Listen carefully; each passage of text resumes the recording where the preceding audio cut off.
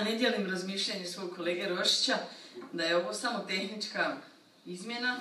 Mislim da je ova izmjena bila vrijedna toga da ide na javnu raspravu, obzirom da ona neće opteretiti će poslodavce ukoliko u ovom tekstu i ovako kako je to napravljeno se to usvoji.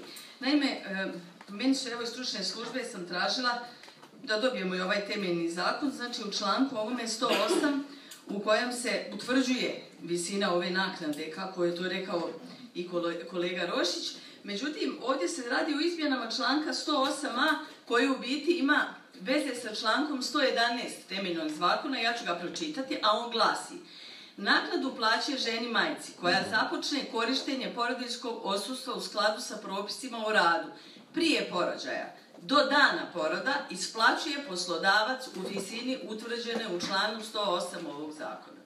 Znači, ovdje se radi o tome da se ova greška koja se potkrala e, u institucijama ove zemlje, da nisu plaćali obaveze koje su trebali, treba razdvojiti dvije kategorije. E, kategoriju kada se otvori bolovanje ženi radi porodiljnog dopusta i to kad ona rodi, to ide na teret države.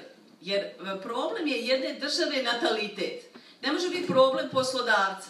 Šta će se dogoditi ako se ovaj teret prebaci na poslodavca i ova obaveza?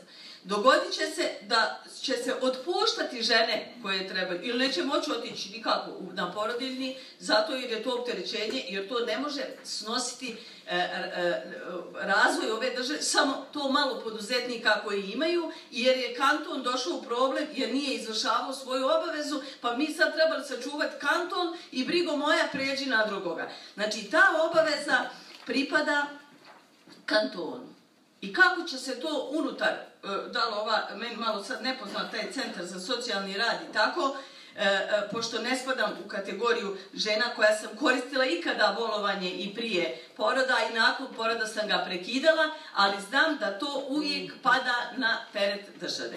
Ove naknade o kojima je govorio kolega Rošić, da bi one trebale biti u 100% iznosu plaće i tako dalje, mi moramo uvijek odvojiti ljude koji su, žene koje su na budžetu i žene koje su u privatnim firmama. Privatne firme ne mogu ono što može budžet.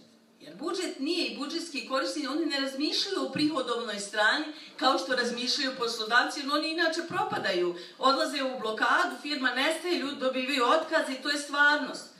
Ako budžetski korisnici, kad ovo ne dobiju, imaju sindikat, oni se žale i napravi pritisak na skupštinu i zaduženje, MMF, ovo ono, nema banka privatnom poduzetniku, ne da kredit, ako on taj kredit ne može e, vraćati, kao što je MMF da nama sredstva u parlamentu, mi to usvojimo i to samo tako prođe. Znači, ovaj zakon, ovako kako je predložen, prvo mislim da je od nas kao poslanika pa bit ću slobodno reći neozbiljno, da smo mi na sebe preuzeli da pošto poto ovo ide po žurnom postupku i da nismo ostavili sebi prostora da ipak provedemo javnu raspravu o nečem što je problem, ne može biti samo naš, da ga mi u ovom periodu u kojem jesmo, da mi to tako na prečac e, odlučimo. E, drugo, nije dobro uzeti, i uvijek to govorim i kad sam gore u Domu naroda, bilo bi dobro da svako ko radi izmjene i dopune zakone ili radi u komisije za izradu zakona, da se napiše u, pored obrazloženja komisiju za izradu ovog zakona su činile osobe te, te, te, te i te.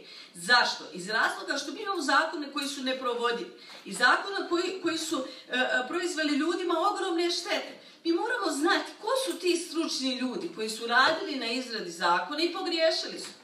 I oni moraju snositi isto posljedice svojih pogrešaka, a ne da mi ovdje poslanici koji nismo pravne struke, mi bi trebali ulaziti, ili svi da jesmo. Ne možemo ići do te mjere, jer ako smo tu, nismo u svojoj struci, ići do te mjere da vidimo da li je nešto pogrešno ili nije pogrešno i onda mi tako nešto e, e, usvojimo.